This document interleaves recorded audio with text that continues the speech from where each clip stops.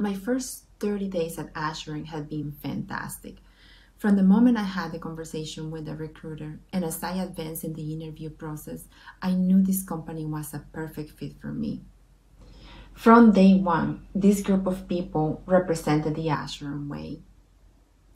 The hiring team, which are my current leaders, have been nothing but amazing. They have been so welcoming, so patient as I learned the tools to do the job. They have encouraged me to speak freely, to be myself. They have modeled the Assurant way.